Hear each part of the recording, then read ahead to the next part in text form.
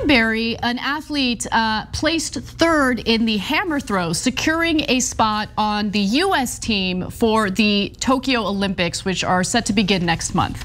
Now, when the Star Spangled Banner began to play um, during the medal ceremony, she decided to kind of turn away uh, in protest because of the honestly, the climate in this country when it comes to African Americans, people of color.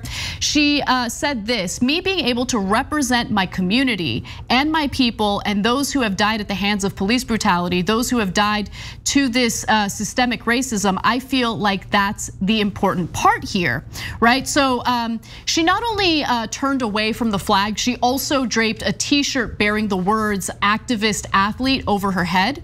And of course, that led to a full blown meltdown among right wingers who would rather focus on these issues to deflect from the fact that they're not offering Americans anything substantive to improve their lives materially.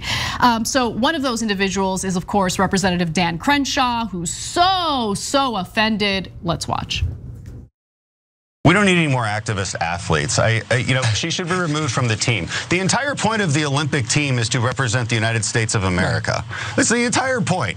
Okay, so you know, it's, it's, it's one thing when these NBA players do it. Okay, fine, we'll just stop watching. But now the Olympic team, and it's it's multiple cases of this. They, they, they should be removed. That that should be the bare minimum requirement. Is that you is that you believe in the country representing. But look, taking it a couple levels deeper. This is this is the pathology that occurs when we when we're teaching critical race theory um, yep. into our institutions because critical race theory again basically teaches that our institutions are racist, that our systems are deeply racist. Now you can't see the racism right because it's subtle, but the and, and if you deny it, it's because of your white fragility. But you're teaching people this constantly, and this is what it results in. It results in this in, in, in these displays of hatred towards our own country. Yeah and it's got to stop. I would argue that the racism is not so subtle. I mean, it's not subtle when you watch a 12 year old black child get gunned down by a cop within literally two seconds because he's playing with a toy gun in a park. But anyway, that's beside the point. Uh, let's focus on the fact that Dan Crenshaw, a Republican who whines and cries about cancel culture all day long, is now calling for the cancellation of an athlete who exercised speech that he doesn't like. You know, we can add a, one other layer to it too. They're like, oh, the transgender athletes, it's not fair, etc. And you know, they, these athletes should compete on their own merits. So she competes on her own merits, mm -hmm. comes in third, ready to go. That means she qualifies for the Olympics. He's like, I don't like something she did. It's a freedom of speech. No, cancel her. Remove her. Remove her. I don't want her because she dared to uh, do something I don't agree with. Okay. Uh, now let's uh, compare one other thing. Um, so Republicans are defending the Capitol rioters. Mm -hmm. So they think that those guys are very pro-America, even though they invaded America's capital. Okay, you can say broke into the Capitol and uh, chanting "Hang Mike Pence," looking to execute the American vice president, and uh, and everybody else, and Nancy Pelosi and AOC and the other people that they chanted about and were looking for, etc. And so the guys who invaded America's capital or broke into it, pro-American, uh, an American athlete that did a, a protest, a political protest, which by the way, is the single most American thing you can do, is not American and needs to be kicked out of the American team. Okay, so the, the hypocrisy of that is so stunning. But what's more stunning is that almost no right winger in the audience understands it. They don't get it at all. They're like, oh yeah, she black didn't stand up when I we told her to. We told her to stand up and salute it. She didn't do it. God damn it. Oh, God, you guys are breaking into the thing and killing, uh, want to kill American legislators? Yeah, pro America. And an attempt to overturn the results of a democratic election. Yeah, I mean, exactly. come on. No, right. I mean, but but this is why, look, this is why I think it's important to call the GOP out on just how hollow their arguments are as they engage in culture wars, right? And, and the fact that their arguments are hollow provides evidence that the fact that they're focused on culture wars is just meant to deflect from the fact that they're not actually legislating to improve people's lives. That's really what this is about. Because what happened with General Mark Milley, right? The chairman of the Joint Chiefs of Staff last week. So he dared, he dared to call Matt Gaetz out on his lies uh, regarding um, critical race theory and wokeism within the military. And the GOP, which allegedly respects the military and our troops more than anyone, just started going after Mark Milley viciously, viciously. Because for them, the culture wars isn't even like the culture wars might be annoying even if uh, Democrats and Republicans engaging in it are being sincere in what they're saying. But it's even worse because the GOP isn't even sincere in what they're saying. They're lying about what they claim to care about. They defended Donald Trump after it was reported that he referred to our fallen soldiers as suckers and losers. Yeah. Come on. Absolutely, let alone their Blue Lives Matter, unless it's Capitol cops, in which case, you know, tase them, kill them, etc.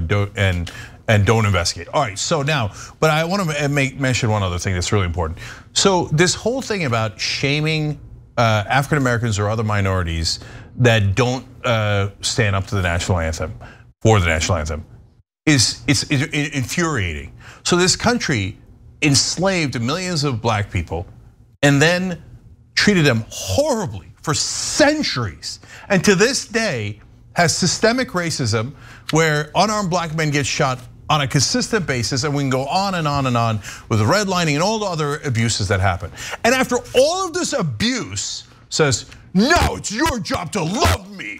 And if you don't love me, it's your fault, right? It's, it's an abusive relationship. And no, no, if you're black or you're another minority and you don't love the national anthem enough to please Republicans, who cares? Ironically, it's a free country. You're allowed to think anything you want. And you're allowed to think America has not been great to black people. Of course, of course that's true. What kind of maniac thinks that America was great to black people? That's insane to think that. That doesn't mean we can't make it better. And finally, on the national anthem, this is really important, guys. I, you know, I, I see this every once in a while, and then I have to confess I, for, I forget, and then I reread it today. You know that there's a section in there that is deeply racist. Francis Scott eh, Key wrote it.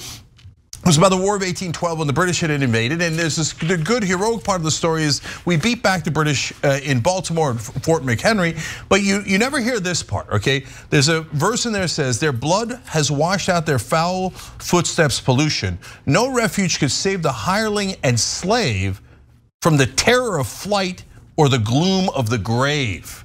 Why? Because uh, several thousand freed slaves had joined the British to fight against America because America had enslaved them and tortured them and killed their family, right?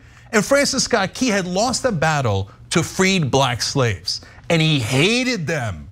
So he put into the US national anthem, well, what became the American national anthem, a part about how we're gonna take those slaves and we're gonna give them the terror of flight and the gloom of the grave.